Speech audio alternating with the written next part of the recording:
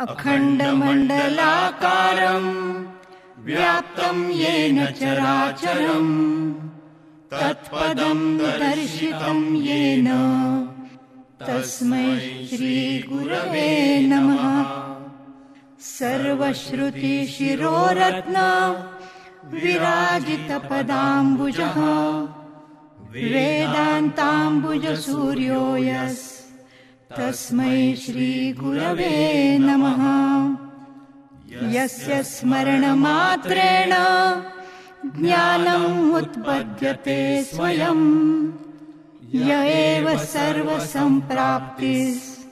तस्मै श्रीगुरवे नमः।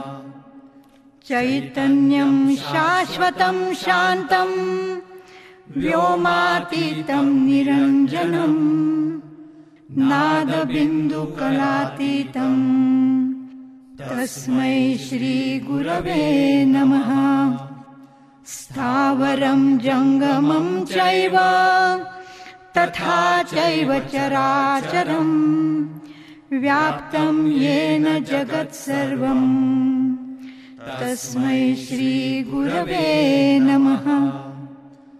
ज्ञान